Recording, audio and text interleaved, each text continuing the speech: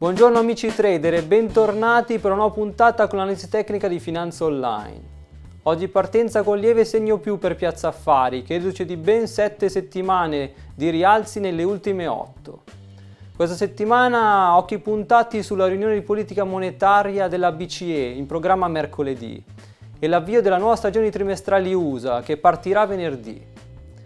Oggi come sempre parleremo di Fuzzi MIB e analizzeremo insieme altri due indici, S&P 500 e l'Eurostox 50.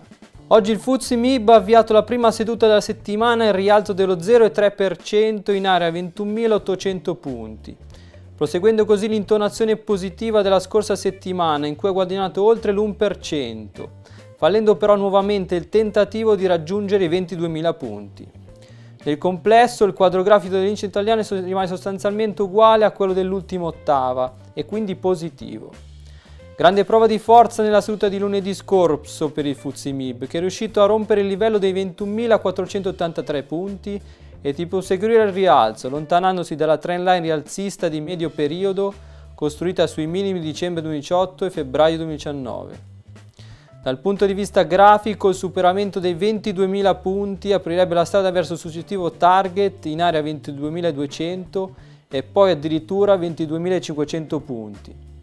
Un primo segnale ribassista si avrebbe invece con la rottura dei 21.483 punti con i primi supporti che si collocano a 21.122 e 21.000 punti.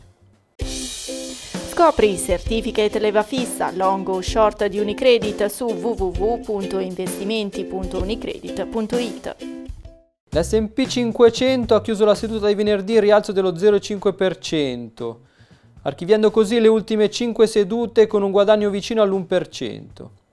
L'indice americano a fine marzo ha effettuato il pullback sul supporto statico collocato a 2796 punti, per poi ripartire al rialzo e fermarsi venerdì poco al di sotto dei 2900 punti.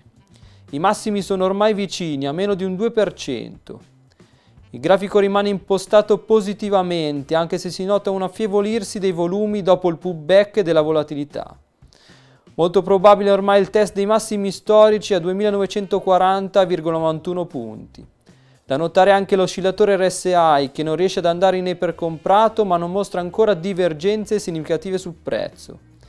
In caso di break dei 2940 punti l'S&P 500 proseguirebbe verso i 3000 punti. Un ritorno invece verso 2696 non dovrebbe spaventare. Solo la rottura di tale livello della media mobile a 200 periodi darebbe le prime indicazioni di correzione più profonda. Scopri gli strumenti di trading di Unicredit su www.investimenti.unicredit.it o chiama il numero verde 800 01 1122. Oggi l'Eurostock 50 parte in lieve flessione dello 0,2% in area 3440 punti reduce di un guadagno di circa il 2% messo a segno nelle ultime 5 sedute. Nella scorsa ottava anche l'indice europeo ha mostrato i muscoli e ha infratto con forza la resistenza statica collocata a 3400 punti, che rappresenta anche il ritracciamento di Fibonacci del 61,8% del downtrend avviato nella scorsa metà del 2018. Un segnale importante in quanto il break del 61,8% determina di fatto la fine del bear market. Ora i corsi puntano a 3500 punti, livello di resistenza piuttosto importante. Vedremo se i corsi poi avranno forza per proseguire verso 3600 punti o prenderanno una pausa. Da monitorare infine l'oscillatore RSI che ci potrebbe dare informazioni importanti al riguardo nelle prossime sedute. Scopri cover warrant con le put di Unicredit su www.investimenti.unicredit.it.